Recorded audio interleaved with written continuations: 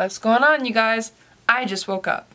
Grab a snack because it's time to talk. Today I'm snacking on an acne pill and a bowl of frosted Cheerios. Now the Cheerios are a lot less frosted than I thought they were going to be, so now I'm just snacking on a bowl of Cheerios and I hate that. Okay, you guys, today we're talking about a very serious issue, the Paul brothers.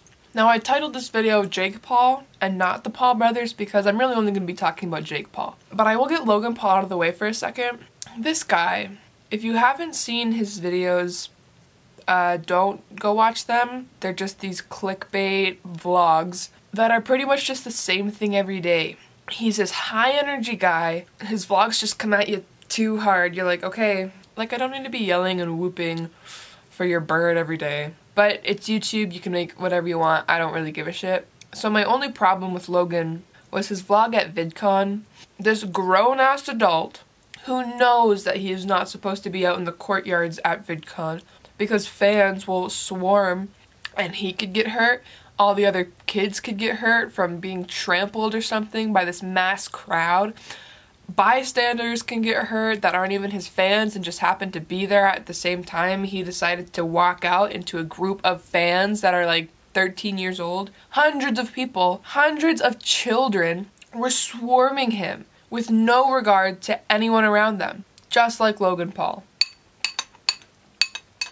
And in this video that he made of it, he's vlogging the whole thing and he's like, oh my god, this was insane. Yeah, it's insane, Logan. And I thought that maybe he was going to do some type of follow-up video where it was like, I'm sorry that I put lives in danger, but that didn't happen. And even if he did, you know it wouldn't be genuine because in his video, he put this epic, like, inspirational music behind all these kids swarming to him. Okay, so clearly he did not realize the danger he was putting these people in. And later in the video, he's getting dragged into the building by security because security's like, you're not supposed to be out here for this exact reason because all these kids are trampling each other to get to you. So as he's being dragged away by security, Logan's like vlogging with one hand and dabbing with the other as he's getting dragged away from the neck by security. That's just not a quality person.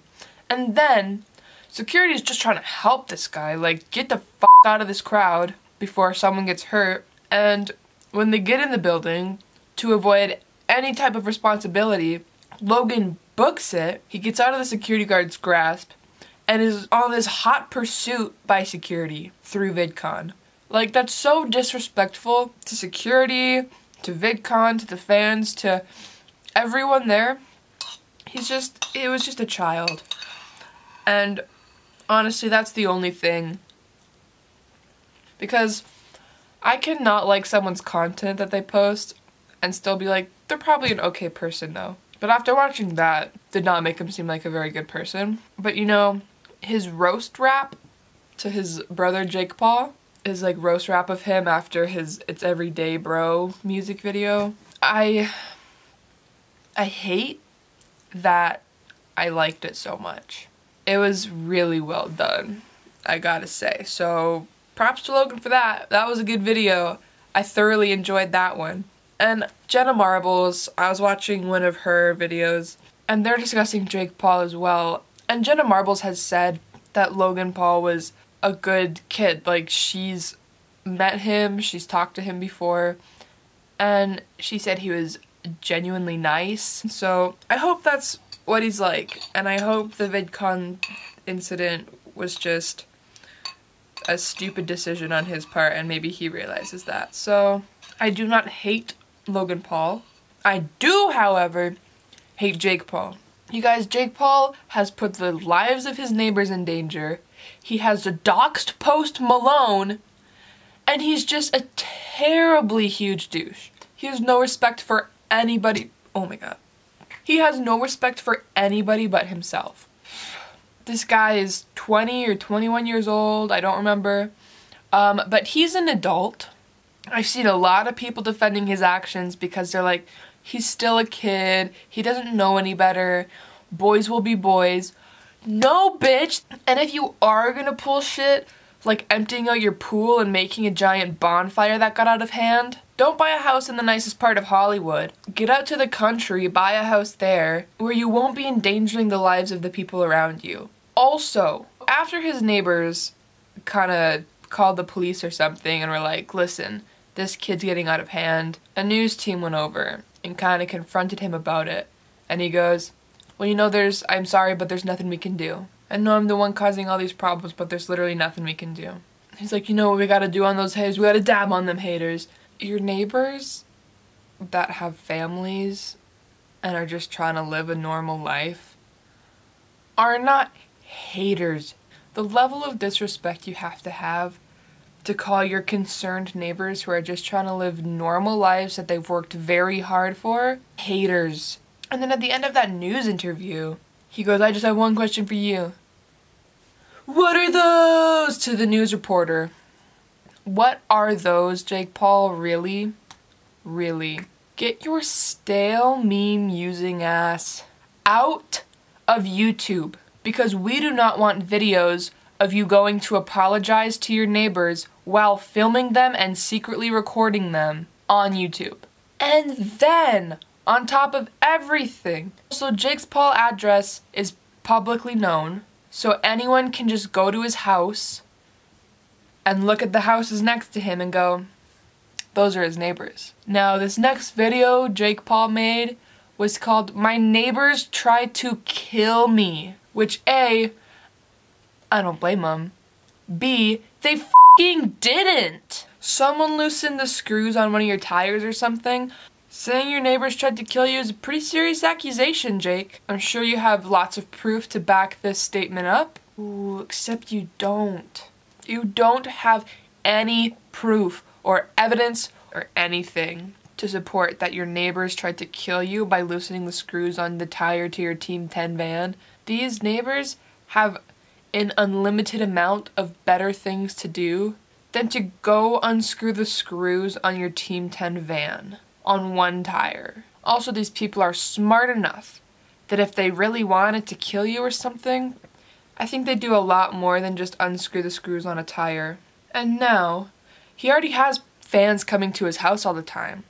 So what's stopping fans from coming to his house and going to attack his neighbors? There's some crazy people out there, and if someone was a hardcore enough fan of Jake Paul, I would not be surprised if someone tried to attack one of his neighbors or something. And of course, Jake Paul does not realize the severity of his accusations and the severity of having his address publicly known. And now these people who never wanted to get involved in anything related to Jake Paul are involved because they were secretly recorded. Also, he doxed Post Malone. I, I won't breeze past that. But he did not blur out where Post Malone lives he recorded Post Malone without permission, secretly, and the video actually just makes Post Malone look like such a nice guy, because he is. He's just this genuinely nice, always willing to give people a chance kind of guy. And at the end, he was totally trolling Jake Paul and his friend, like, uh, so I was thinking, like, you could put in, like, rap one of the verses in a new song. And Post Malone is like, yeah, sure, can, only can Ethan do it too? from H3H3. Guys, if you have not watched Ethan Klein's videos on H3H3, go do it. They are a million times better than this video I'm making right now. It has more information about Jake Paul. It has clips from his videos to help back up everything he's saying. Uh, it's just way better. So go to H3H3's channel and watch his Viner videos and his Jake Paul videos. They are the most informative quality content on YouTube. Honestly, you guys, Ethan and Hila are the only reliable news source now, so... And Ethan is a good, good friend of Post Malone. So, he's got more of a scoop on the Post Malone issue than I do. Just know that Jake Paul disrespected Post Malone. Not to mention, the reason they went to his house is because they went to hand deliver the merch that Post Malone had bought from them as a joke. So they had to illegally obtain Post Malone's shipping information from the merch website. But he's he's only 20. He's still a kid. You know how teenage boys are. Is it? Eh. He's not a teenage boy, he's not a kid, he's an adult.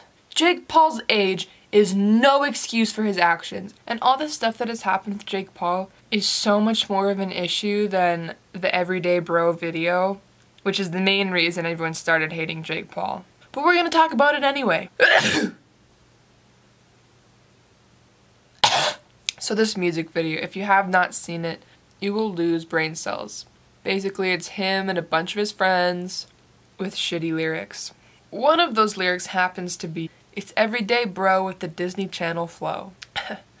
now, if you didn't know, because I did not, Jake Paul was on a Disney show called Bizaardvark.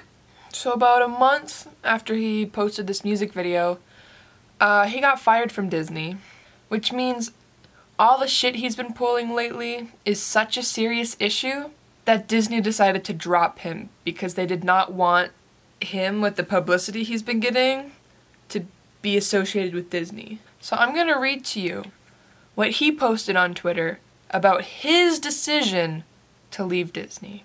What's up, Jake Paulers? I hate to have to throw crazy news on you guys all at once, but since we are a family, I know you guys will understand and be super supportive. Long story short, dot dot dot. My team, Disney Channel, and I have come to the agreement it's finally time for me to move on from the Disney family and Bizaardvark. Um, did y'all come to that agreement?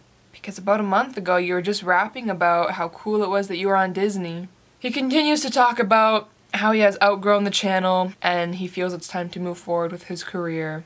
I'd also like to point out that not seven days earlier, he posted a tweet saying, Bizaardvark is making waves because he was so proud to be on that show. Oh, but I'm sure, I'm sure you guys have been discussing this a lot. You've been thinking about it for a long time, about leaving Disney and stuff. Really, bitch? Really? Because you rapped about it, you tweeted about it. You just don't want people to know that you got fired from Disney because of the bad publicity you have been getting. Which you deserve, but own up to your mistakes. At least Logan Paul's being smart about what he's doing. He's kind of distancing himself from his brother. He knows how to make clickbait that people are actually going to click on and not be uncomfortable by. Now, what I mean by this is Jake Paul posted a video with some girl who's clearly uncomfortable being blindfolded and having three guys kiss her, one of which is Jake Paul, one of which is Jake Paul's dad, I'd assume. Maybe it's some actor he hired to pretend to be his dad. Either way, it's weird, it's creepy, it's disgusting. And even his 13 year old fans were commenting on it, being like, This is weird, Jake. So these 13 year olds are smarter and have more common sense than this 20 year old Jake Paul. And these are girls who absolutely love him. He's their world, they worship him. And they are saying, Jake, this is weird. We don't like this. What are you doing? Anyway, you guys, Jake Paul's just not a good person. If you want to know more about the shit that Jake Paul's pulling, seriously, just go to H3H3's channel. Alright, we'll see you guys later.